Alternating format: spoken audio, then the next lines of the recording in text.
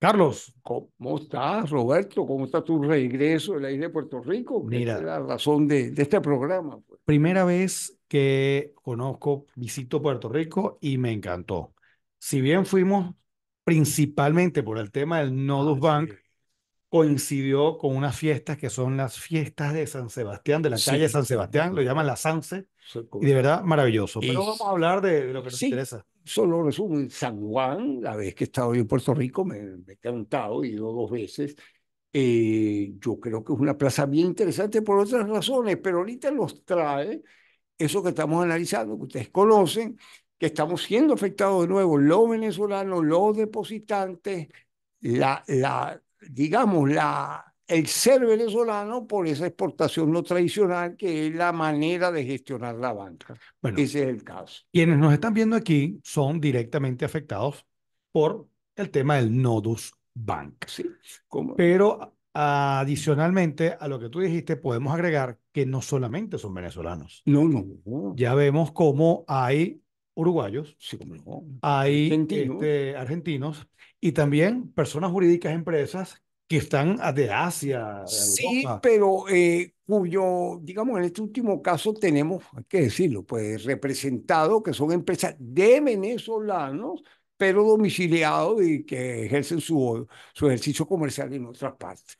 En total, o en resumen, otro banco venezolano donde sus eh, propietarios, accionistas son venezolanos, donde más del 80% son depositantes venezolanos, caemos otra vez en una situación que quiero que comentes un poco, que motivó la ida de Roberto Jun allá a, a Puerto Rico a tratar de ver con mayor claridad lo que venimos eh, señalándoles a Bueno, ustedes. importante. Primero, porque todas las comunicaciones los intentos de comunicación directa con las autoridades especiales en materia de eh, instituciones financieras ha sido absolutamente nula. No hay. Es más, también así que pueden ver los videos en los cuales expresamente solicitamos una audiencia Sí, y bueno, pasado un tiempo prudencial, se dio la oportunidad de ir personalmente sí.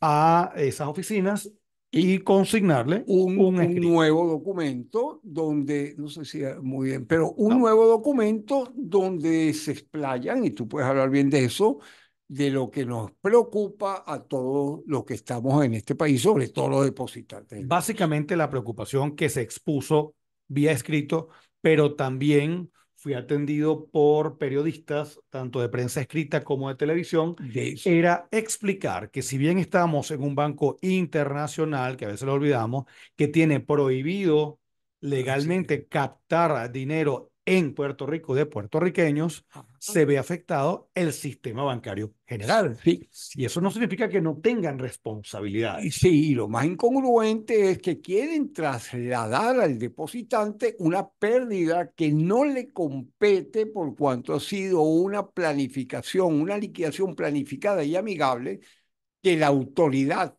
avaló y hoy lo ejerce con un síndico, traslade la pérdida que de esa salida de liquidatoria pueda dar lugar a, a pérdidas que van entre 10 y 30% de los depósitos de cada quien. Recordemos que esta aproximación que hacemos nosotros del caso no solamente es desde un, tipo, desde un contexto jurídico, hemos tenido ya reuniones con varios abogados de las jurisdicciones afectadas en el sentido de que hay temas puertorriqueños y también federal de los Estados Unidos, viste la naturaleza del tema. Eh, sí, es uno de Y los puntos que hay que claro, debatir. y también el tema de que hay un tema, a un asunto eminentemente financiero, en el sentido de que no puede haber un tratamiento como si fuese una quiebra sin serlo. Es que exactamente eso es lo que, que, que hay que resaltar y remachar. Aquí el depositante, como si lo hubiera podido conocer a través de una junta de acreedores en una quiebra, conocería el balance de liquidación.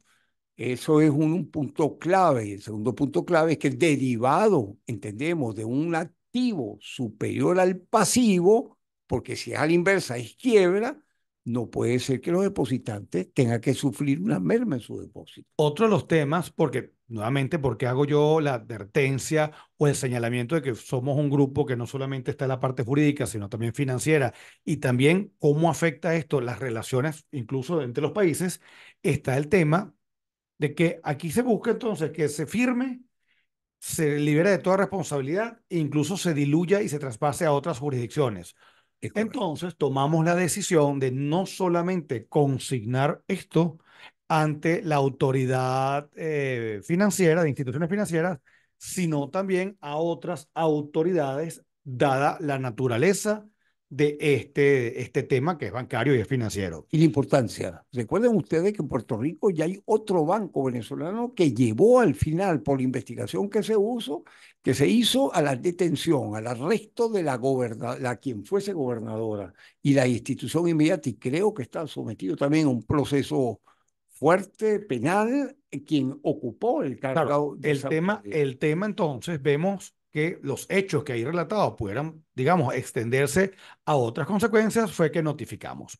Ahora, lo importante, si usted es depositante afectado, porque incluso el día de ayer me llamó una periodista de Puerto Rico que dice que, mira, le llamaba la atención la total opacidad, falta de transparencia, nadie informa nada.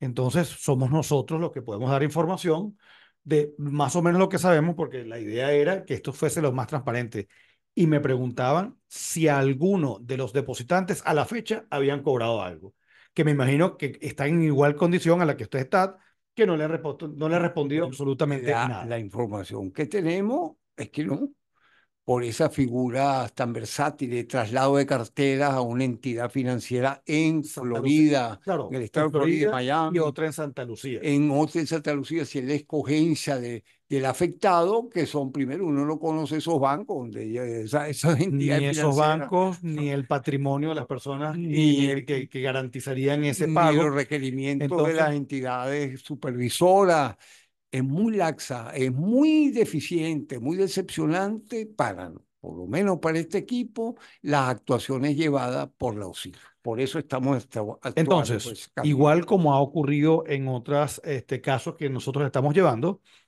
eh, usted puede hacerse asesorar con su abogado si lo tiene y si tiene experiencia en estas jurisdicciones nosotros como abogados venezolanos ya estamos entrando en comunicaciones con abogados en jurisdicción federal de los Estados Unidos y que también ejercen directamente en Puerto Rico.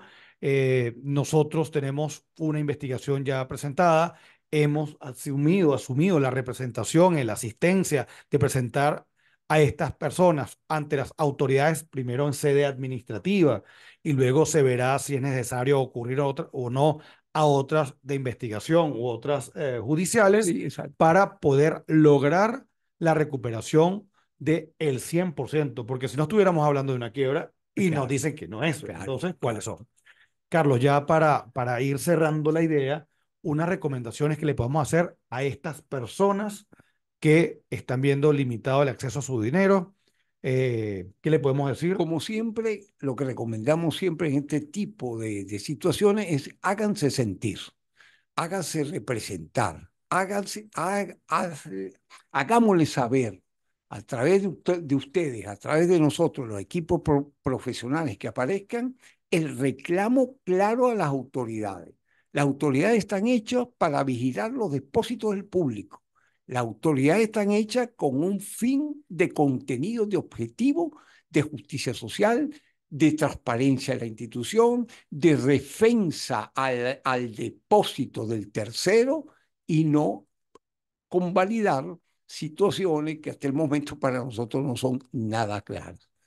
Consecuencia, vamos a tratar de, de poner a disposición toda la documentación, darles el, Sí, en la, página, en la página de Cultura Jurídica ORG. Simplemente usted pone www.culturajurídica.org. Ahí va a aparecer la sección relativa al caso Nodus, en la cual a medida que se va generando documentación, por supuesto, si hay alguna información que sea privada, este, no va a estar, pero en términos generales, todos los argumentos, todas las comunicaciones, todo lo que pueda estar en un expediente público, porque en efecto público es, está a disposición de todos ustedes.